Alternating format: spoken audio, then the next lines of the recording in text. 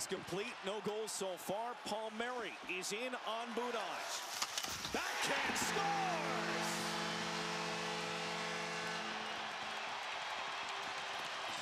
And the pressure now on Tampa Bay. Kyle Palmieri has moves and he is a shooter. He really sells that shot. He has Budaj frozen.